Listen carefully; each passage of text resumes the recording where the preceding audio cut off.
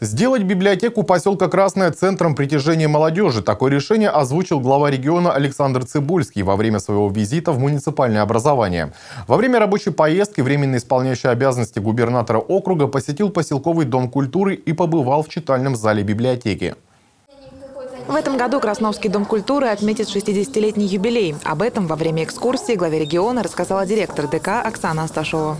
У нас кружки есть вокальные, есть театральные, есть э, хореографические кружки, есть вот декоративно-прикладного творчества кружки, ну, разнообразные. И ходят и взрослые, и дети, специалисты у нас работают.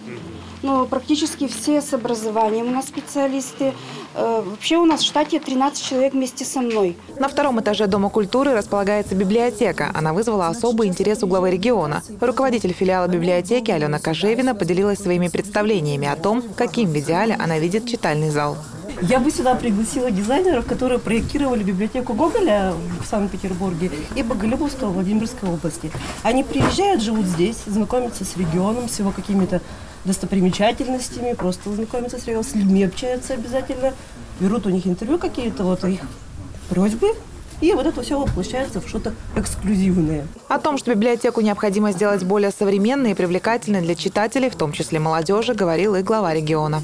Искренне убежден, что библиотека должна становиться таким очень современным центром, где молодежь могла бы не только читать книги, но и получить доступ к всем информационным технологиям хорошего качества и доступ к тому новому информационному, информационному ресурсу, который сегодня есть в сети, есть, есть в мире. Это должно быть комфортное место, куда могли бы прийти, э, выпить кофе, выпить чай, посидеть, пообщаться. Глава региона предложил сделать Красновскую библиотеку центром досуга молодежи. Планируется, что этот проект станет пилотным на территории Ниницкого округа. Ирина Цепетова, Ирина Нежалова, Леонид Шишелов, телеканал «Север».